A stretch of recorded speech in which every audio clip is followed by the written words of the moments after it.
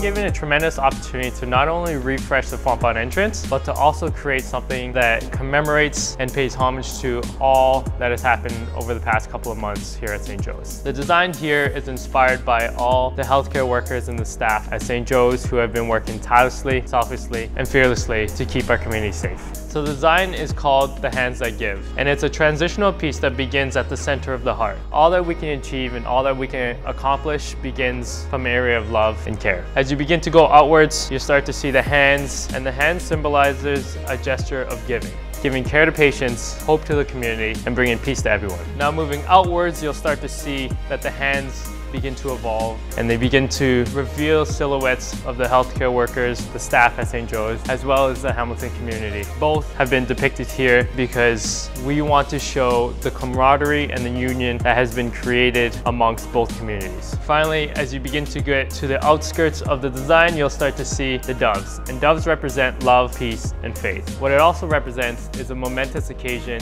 the staff spirit, and of course, spreading love and faith throughout the community. Lastly, the geometric shapes throughout the entire design, although different in shapes and colors, were designed as a mosaic design to represent the roles that we here have here at St. Joe's. Although we have different roles, together we create union and art that we call St. Joe's.